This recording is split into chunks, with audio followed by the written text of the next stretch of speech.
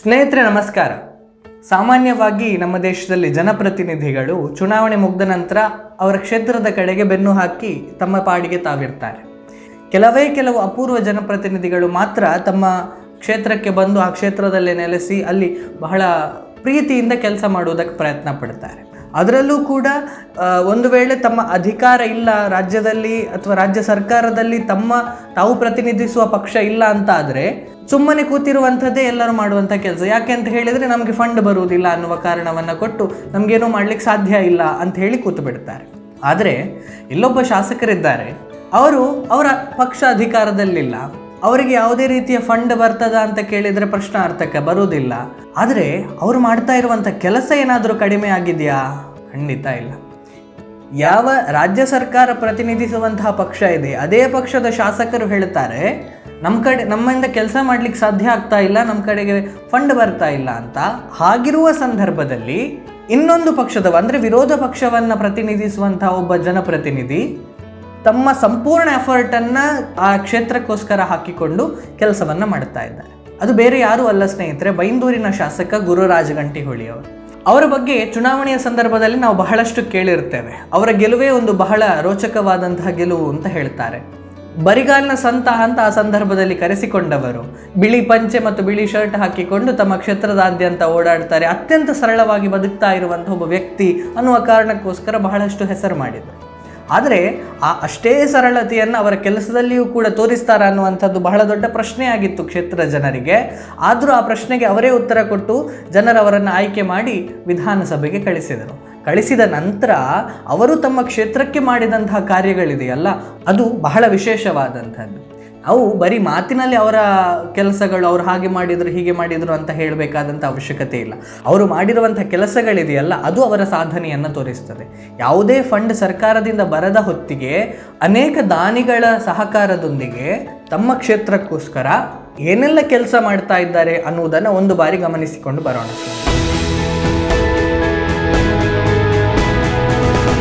ಗುರುರಾಜ್ ಗಂಟಿಹೊಳಿ ಅವರು ಶಾಸಕರಾಗಿ ಆಯ್ಕೆಯಾದಾಗ ಮೊದಲಿಗೆ ಅವರು ಕೈಗೆತ್ತಿಕೊಂಡ ಯೋಜನೆ ಸಮೃದ್ಧ ಬೈಂದೂರು. ಪ್ರತಿಯೊಂದು ಪ್ರದೇಶವು ತನ್ನದೇ ಆದಂಥ ವಿಶೇಷತೆಗಳನ್ನು ಹೊಂದಿರ್ತದೆ. ಆಯಾ ಪ್ರದೇಶದ ಭೌಗೋಳಿಕ ಅಂಶಗಳಿಗೆ ಅನುಸಾರವಾಗಿ ಅಲ್ಲಿನ ಕಾರ್ಯಗಳನ್ನು ಮಾಡಬೇಕಾಗ್ತದೆ. ಉದಾಹರಣೆಗೆ, ಬೆಂಗಳೂರು ಮತ್ತು ಮಂಗಳೂರಿನಂತಹ ನಗರಗಳಲ್ಲಿ ಮಾಡುವ ಅಭಿವೃದ್ಧಿ ಕಾರ್ಯಗಳನ್ನು ಬೈಂದೂರಿನಂತಹ ಮಲೆನಾಡಿನ ಊರಿನಲ್ಲಿ ಮಾಡುವುದು ಸಾಧ್ಯ ಇಲ್ಲ. ಬೈಂದೂರಿನ ಪರಿಸರಕ್ಕೆ ಅನುಗುಣವಾಗಿ ಯಾವೆಲ್ಲ ಅಭಿವೃದ್ಧಿ ಕಾರ್ಯಗಳನ್ನು ಮಾಡಬಹುದು ಎಂಬ ಬಗ್ಗೆ ಒಂದು ಸ್ಪಷ್ಟ ಪರಿಕಲ್ಪನೆಯ ಜೊತೆಗೆ ಸಮೃದ್ಧ ಬೈಂದೂರು ಎಂಬ ಯೋಜನೆಯನ್ನು ಕೈಗೆತ್ತಿಕೊಂಡು. ಅದರ ಅಡಿಯಲ್ಲಿ ಅನೇಕ ಅಭಿವೃದ್ಧಿ ಕಾರ್ಯಗಳನ್ನು ಕೈಗೆತ್ತಿಕೊಂಡು ಅದನ್ನು ಮಾಡುವಂಥ ಪ್ರಯತ್ನ ಮಾಡ್ತಾ ಇದ್ದಾರೆ ಮಾದರಿ ಸರ್ಕಾರಿ ಶಾಲೆಗಳಿಗಾಗಿ ತ್ರೀ ಹಂಡ್ರೆಡ್ ಟ್ರೀಸ್ ಯೋಜನೆ. ಶಾಲೆ ಅಂದರೆ ಜ್ಞಾನದ ದೇಗುಲಗಳು. ಶಾಲೆಗಳು ಮಾದರಿಯಾದಾಗ ಅಲ್ಲಿ ಕಲಿಯುವ ವಿದ್ಯಾರ್ಥಿಗಳು, ಆದರ್ಶ ವಿದ್ಯಾರ್ಥಿಗಳಾಗಿ ಬೆಳೆದು ಸತ್ಪ್ರಜೆಗಳಾಗ್ತಾರೆ. ವಿದ್ಯಾರ್ಥಿಗಳಿಗೆ ಉತ್ತಮ ಗುಣಮಟ್ಟದ ಶಿಕ್ಷಣ ನೀಡಬೇಕೆಂಬ ಸದುದ್ದೇಶದಿಂದ ಬೈಂದೂರಿನ ಸರ್ಕಾರಿ ಶಾಲೆಗಳನ್ನು ಮಾದರಿ ಶಾಲೆಗಳನ್ನಾಗಿ ಮಾಡಲಾಗ್ತಾ ಇದೆ. ಇದಕ್ಕೋಸ್ಕರ ಹಲವು ದಾನಿಗಳ ಸಹಕಾರವನ್ನು ಪಡೆಯಲಾಗ್ತಾ ಇದೆ. ಸರ್ಕಾರಿ ಶಾಲೆಗಳ ಉಳಿವು ಮತ್ತು ಅಭಿವೃದ್ಧಿಗಾಗಿ ಕೈಗೊಂಡಿರುವ ಈ ವಿಶಿಷ್ಟ ಯೋಜನೆ ತ್ರೀ ಹಂಡ್ರೆಡ್ ಟ್ರೀಸ್. ಈಗಾಗಲೇ ಸ್ವಯಂ ಸ್ಫೂರ್ತಿ ಫೌಂಡೇಶನ್ ಬೆಂಗಳೂರು ವತಿಯಿಂದ ಬೈಂದೂರಿನ ಸರ್ಕಾರಿ ಹಿರಿಯ ಪ್ರಾಥಮಿಕ ಶಾಲೆಗಳಲ್ಲಿ ಕಂಪ್ಯೂಟರ್ ಲ್ಯಾಬ್ ಮತ್ತು ಸುಸಜ್ಜಿತ ಗ್ರಂಥಾಲಯ ಒಳಗೊಂಡ ಸ್ವಯಂ ಸ್ಫೂರ್ತಿ ಕೌಶಲ್ಯ ಕೇಂದ್ರ ಉದ್ಘಾಟನೆ ಮಾಡಲಾಗಿದೆ ಜೊತೆಗೆ ಮಕ್ಕಳಿಗೆ ಪುಸ್ತಕ ಮತ್ತು ಕ್ರೀಡಾ ಸಾಮಗ್ರಿಗಳನ್ನು ಒದಗಿಸಲಾಗಿದೆ. ಇದರೊಂದಿಗೆ ಬಡ ವಿದ್ಯಾರ್ಥಿಗಳಿಗೆ ಅನುಕೂಲ ಮಾಡಿಕೊಡುವ ನಿಟ್ಟಿನಲ್ಲಿ ಉಚಿತ ಕೆ ಸಿ ಇ ಟಿ ಮತ್ತು ನೀಟ್ ತರಬೇತಿ ಕಾರ್ಯಾಗಾರವನ್ನು ನಡೆಸಲಾಗ್ತಾ ಇದೆ. ಸ್ವಚ್ಛ ಬೈಂದೂರು. ಸ್ವಚ್ಛ ಸಮಾಜ, ಸ್ವಸ್ಥ ಸಮಾಜ, ಸ್ವಚ್ಛ ಭಾರತ ಎಂಬುದು ಮಾನ್ಯ ಪ್ರಧಾನಿ ಅವರ ಕನಸು ಹೌದು. ಇದೇ ಕನಸಿನ ಸಾಕಾರ ರೂಪ ಸ್ವಚ್ಛ ಬೈಂದೂರು. ಬೈಂದೂರಿನ ಪರಿಸರವನ್ನು ಸ್ವಚ್ಛಗೊಳಿಸಿ ಸ್ವಸ್ಥ ಸಮಾಜ ನಿರ್ಮಾಣ ಮಾಡುವ ಗುರಿ ಇವರದ್ದಾಗಿತ್ತು ಸ್ವಚ್ಛ ಬೈಂದೂರಿನ ಯೋಜನೆಯಡಿ ಕ್ಲೀನ್ ಕಿನಾರ ಎಂಬ ಮತ್ತೊಂದು ವಿಶಿಷ್ಟ ಉಪಕ್ರಮವನ್ನು ಕೈಗೊಳ್ಳಲಾಗಿದೆ. ಕಡಲ ಕಿನಾರೆಗಳನ್ನು ಪ್ಲಾಸ್ಟಿಕ್ ಇತ್ಯಾದಿ ಕಸಗಳಿಂದ ಮುಕ್ತಗೊಳಿಸುವುದು ಇದರ ಉದ್ದೇಶ. ವಿವಿಧ ಸಂಘ ಸಂಸ್ಥೆಗಳ ಸಹಯೋಗದೊಂದಿಗೆ ಇದು ಯಶಸ್ವಿಯಾಗಿ ಪ್ರತಿ ವಾರವೂ ನಡೆಯುತ್ತಿದ್ದು, ನಲವತ್ತಕ್ಕೂ ಹೆಚ್ಚು ವಾರಗಳನ್ನು ಈಗಾಗಲೇ ದಾಟಿ ಈ ಪಯಣ ಮುಂದೆ ನಡೀತಾ ಇದೆ. ಇದರ ಫಲಶ್ರುತಿ ಎಂಬಂತೆ, ಬೈಂದೂರಿನ ಸೋಮೇಶ್ವರದ ಸ್ವಚ್ಛವಾದ ಕಡಲ್ ತೀರದಲ್ಲಿ ಕಡಲಾಮೆಗಳು ಬಂದು ಮೊಟ್ಟೆ ಇಟ್ಟು ಮರಿ ಮಾಡಿವೆ. ಮೂರ್ನಾಲ್ಕು ದಶಕಗಳ ಬಳಿಕ ಇದೇ ಮೊದಲ ಬಾರಿಗೆ ಕಡಲಾಮೆ ಮೊಟ್ಟೆ ಇಟ್ಟದ್ದು ಕ್ಲೀನ್ ಕಿನಾರ ಯೋಜನೆಯ ಯಶಸ್ಸಿಗೆ ನಿದರ್ಶನ.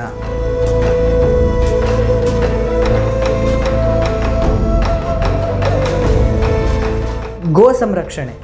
ಗೋವು ನಮ್ಮೆಲ್ಲರ ತಾಯಿ ಗಾವು ವಿಶ್ವಸ್ಯ ಮಾತರಹ ಗೋವಿದ್ದರೆ ನಾವು. ಹಾಗಾಗಿ ಗೋ ಸಂರಕ್ಷಣೆ ನಮ್ಮೆಲ್ಲರ ಮೊದಲ ಆದ್ಯತೆ ಆಗಬೇಕು.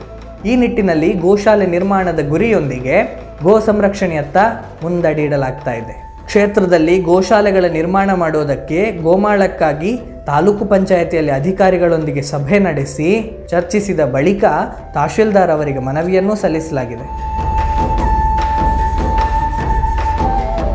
ಕೆರೆ ಅಭಿವೃದ್ಧಿ ಮತ್ತು ಅಂತರ್ಜಲದ ಮರುಪೂರಣ. ನೀರು ನಮ್ಮ ಮೂಲಭೂತ ಅವಶ್ಯಕತೆಗಳಲ್ಲಿ ಒಂದು. ನೀರಿಗಾಗಿ ನಾವು ಅವಲಂಬಿಸಿರುವುದು ಕೆರೆಗಳನ್ನು ಮತ್ತು ಅಂತರ್ಜಲವನ್ನು. ಕೆರೆ ಹಾಗೂ ಅಂತರ್ಜಲ ತುಂಬಬೇಕೆಂದರೆ ಅದಕ್ಕೆ ಸರಿಯಾದ ರೀತಿಯ ವ್ಯವಸ್ಥೆಗಳನ್ನು, ಮರುಪೂರಣಗಳನ್ನು ಮಾಡಬೇಕು. ಅದಕ್ಕಾಗಿ ಕೆರೆ ಅಭಿವೃದ್ಧಿ ಹಾಗೂ ಅಂತರ್ಜಲ ಮರುಪೂರಣಕ್ಕೆ ಆದ್ಯತೆ ನೀಡಲಾಗ್ತಾ ಇದೆ. Eco tourism. ಬೈಂದೂರು ಹಲವಾರು ಪ್ರವಾಸಿ ತಾಣಗಳನ್ನು ಹೊಂದಿರುವ ಸುಂದರವಾದ ಪ್ರದೇಶ. ಸ್ವಲ್ಪ ಹೆಚ್ಚಿನ ಗಮನವನ್ನು ಪ್ರವಾಸೋದ್ಯಮಕ್ಕೆ ಕೊಟ್ಟರೆ ಜನಜೀವನಕ್ಕೆ ಇದೇ ಉತ್ತಮ ಆದಾಯವಾಗುತ್ತೆ. ಹಾಗಂತ ಅದರಿಂದ ಪರಿಸರಕ್ಕೆ ಯಾವುದೇ ಹಾನಿ ಆಗಬಾರದು. ಅದಕ್ಕಾಗಿ ಇಕೋ ಟೂರಿಸಮನ್ನು ಅಭಿವೃದ್ಧಿಪಡಿಸುವತ್ತ ಗಮನ ಹರಿಸಲಾಗ್ತಾ ಇದೆ. ಈ ನಿಟ್ಟಿನಲ್ಲಿ ಎಕ್ಸ್ಪ್ಲೋರ್ ಬೈಂದೂರು ಎನ್ನುವ ಹೊಸ ವಿಶಿಷ್ಟ ಕಾರ್ಯಕ್ರಮವನ್ನು ಯೋಜಿಸಿ ಅದಕ್ಕೆ ವಿಭಿನ್ನ ರೀತಿಯಲ್ಲಿ ಚಾಲನೆ ನೀಡಲಾಗಿದೆ.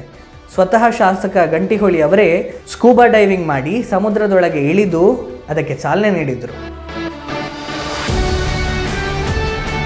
ಬೈಂದೂರು ದರ್ಶನ ಯೋಜನೆ. ತಿಂಗಳ ಮೊದಲ ವಾರ ಬೈಂದೂರು ತಾಲೂಕಿನ ಧಾರ್ಮಿಕ ಮತ್ತು ಪ್ರವಾಸಿ ತಾಣಗಳಿಗೆ ಪ್ರವಾಸಿಗರನ್ನು ಕರೆದುಕೊಂಡು ಹೋಗುವ ವಿಶಿಷ್ಟ ಯೋಜನೆ ಇದು. ಕೊಲ್ಲೂರಿನಿಂದ ಆರಂಭವಾಗುವ ಧಾರ್ಮಿಕ ಕ್ಷೇತ್ರ ದರ್ಶನದಲ್ಲಿ ಹಲವು ದೈವಸ್ಥಾನಗಳಿಗೆ ಕರೆದೊಯ್ಯುವ ವ್ಯವಸ್ಥೆಯನ್ನು ಮಾಡಲಾಗಿದೆ. ಸೇವಾ ಸೇತು. ಸಮೃದ್ಧ ಸಮಾಜದ ನಿರ್ಮಾಣ ಆಗಬೇಕೆಂದರೆ ಸಮರ್ಥ, ಆರೋಗ್ಯಪೂರ್ಣ, ಸಶಕ್ತ ನಾಗರಿಕರ ಅಗತ್ಯವೂ ಇದೆ ಎಂಬ ಪರಿಕಲ್ಪನೆಯೊಂದಿಗೆ ಸಮೃದ್ಧ ಪೈಂದೂರು ಯೋಜನೆಯಡಿಯಲ್ಲಿ ಸೇವಾ ಸೇತು, ನಿಮ್ದೇ ಮನಿ ಮಕ್ಕಳು ಎಂಬ ಉಪಯೋಜನೆಯನ್ನು ಕೈಗೆತ್ತಿಕೊಳ್ಳಲಾಗಿದೆ. ಇದರಲ್ಲಿ ಬೆನ್ನುಹುರಿ ಸಮಸ್ಯೆಯುಳ್ಳವರಿಗೆ ಪುನರ್ವಸತಿ ಕೇಂದ್ರ, ಡಯಾಲಿಸಿಸ್ ಸೆಂಟರ್, ವಿಶೇಷ ಚೇತನರ ಬಗ್ಗೆ ವಿಶೇಷ ಕಾಳಜಿ ಮತ್ತು ಆರೈಕೆ, ಅನಾಥಾಶ್ರಮ, ವೃದ್ಧಾಶ್ರಮ, ನಿರ್ಗತಿಕರಿಗೆ ಆಶ್ರಯ ಕೇಂದ್ರ, ಎಂಡೋಸಲ್ಫಾನ್ ಆರೈಕೆ ಕೇಂದ್ರ ಇವೆಲ್ಲವನ್ನು ಮಾಡಲು ಉದ್ದೇಶಿಸಲಾಗಿದೆ. ನಾಲ್ಕು ದಶಕಗಳ ಬಳಿಕ ಪ್ರಥಮ ದರ್ಜೆ ಕಾಲೇಜಿಗೆ ಬಸ್ ವ್ಯವಸ್ಥೆ. ಬೈಂದೂರು ಸರ್ಕಾರಿ ಪ್ರಥಮ ದರ್ಜೆ ಕಾಲೇಜು ಸುಮಾರು ನಲವತ್ತು ವರ್ಷಗಳ ಇತಿಹಾಸ ಹೊಂದಿದ್ದು, ಈ ಕಾಲೇಜಿಗೆ ದೂರದ ಗ್ರಾಮೀಣ ಭಾಗಗಳಿಂದ ಬರುವ ವಿದ್ಯಾರ್ಥಿಗಳು ನಡೆದುಕೊಂಡೇ ಹೋಗಬೇಕಿತ್ತು. ಬಸ್ ಸಂಚಾರ ಇಲ್ಲದಿರುವುದರಿಂದ ವಿದ್ಯಾರ್ಥಿಗಳು ತೊಂದರೆ ಅನುಭವಿಸುವಂತಾಗಿತ್ತು. ಈ ಸಮಸ್ಯೆಯನ್ನು ಮನಗಂಡ ಶಾಸಕ ಗಂಟಿಹೊಳಿ ಅವರು, ಬೈಂದೂರು ಹೆದ್ದಾರಿಯಿಂದ ದೂರದ ಗಂಗನಾಡು ಪ್ರದೇಶದಲ್ಲಿರುವ ಕಾಲೇಜಿಗೆ ಬಸ್ ಸಂಚಾರ ಆರಂಭವಾಗುವಂತೆ ಮಾಡಿ ನೂರಾರು ವಿದ್ಯಾರ್ಥಿಗಳಿಗೆ ಅನುಕೂಲ ಮಾಡಿಕೊಟ್ಟಿದ್ದಾರೆ.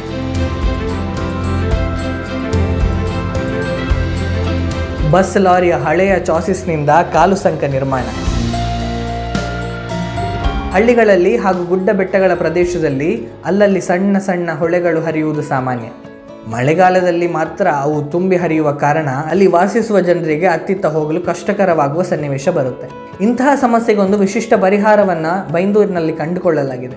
ಸರ್ಕಾರದ ಮೂಲಕ ಕೆಲವು ಕಾಲು ಸಂಕಗಳ ನಿರ್ಮಾಣವಾಗುತ್ತಿದ್ದರೆ ಸಮೃದ್ಧ ಬೈಂದೂರು ಹಾಗೂ ಅರುಣಾಚಲಂ ಟ್ರಸ್ಟ್ನ ಒಡಂಬಡಿಕೆಯೊಂದಿಗೆ ಕೆಲವು ಕಡೆಗಳಲ್ಲಿ ಕಾಲು ವಿನೂತನ ಆವಿಷ್ಕಾರದೊಂದಿಗೆ ನಿರ್ಮಾಣ ಮಾಡಲಾಗ್ತಾ ಇದೆ. ಹಳೆಯ ಲಾರಿ, ಬಸ್ ಇತ್ಯಾದಿ ವಾಹನಗಳ ಚಾಸಿಸ್ ಸಹಿತ ವಿವಿಧ ಪರಿಕರಗಳನ್ನು ಬಳಸಿ ಕಾಲು ನಿರ್ಮಾಣ ಮಾಡಲಾಗುತ್ತಿರುವುದು ವಿಶೇಷ.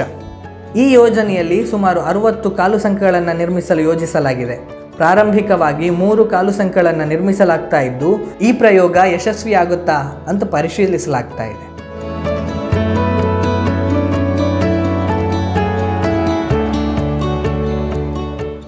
ಸ್ನೇಹಿತರೆ, ಇಷ್ಟೇ ಅಲ್ಲ. ಇನ್ನೂ ಅನೇಕ ಇಂತಹ ಯೋಜನೆಗಳು ಅವರ ತಲೆಯಲ್ಲಿದೆ. ಅದನ್ನು ಕಾರ್ಯಗತ ಮಾಡುವುದಕ್ಕೋಸ್ಕರ ಅವರು ಅವಿರತ ಶ್ರಮಿಸ್ತಾ ಇದ್ದಾರೆ. ಇಂತಹ ಜನಪ್ರತಿನಿಧಿಗಳು ನಮ್ಮೆಲ್ಲ ಕ್ಷೇತ್ರಗಳಲ್ಲಿಯೂ, ಕರ್ನಾಟಕದಲ್ಲಿರುವಂತಹ ಅಷ್ಟೂ ಕ್ಷೇತ್ರಗಳಲ್ಲಿ, ಇಡೀ ಭಾರತದಲ್ಲಿರುವಂತಹ ಎಲ್ಲ ರಾಜ್ಯಗಳಲ್ಲಿ ಇಂತಹ ಒಬ್ಬ ಜನಪ್ರತಿನಿಧಿ ನಮಗೆ ಸಿಕ್ಕಿದ್ರು ಅಂತಾದರೆ, ಯಾವುದೇ ರೀತಿಯಾದಂಥ ಅಡೆತಡೆ ಇಲ್ಲದೆ ಅಭಿವೃದ್ಧಿ ನಡೆಸಲಿಕ್ಕೆ ಸಾಧ್ಯ ಇದೆ. ಇವರ ಕೆಲಸಗಳು ಹೀಗೆ ಸಾಗಲಿ, ಇವರ, ಇವರು ಮಾಡ್ತಾ ಇರುವಂತಹ ಕೆಲಸದಲ್ಲಿ ಯಾವುದೇ ರೀತಿಯಾದಂಥ ಅಡೆತಡೆಗಳು ಬರದೇ ಇರಲಿ ಅನ್ನೋದು ಮಾತ್ರ ನಮ್ಮ ಸದಾಶಯ. ನಮಸ್ಕಾರ.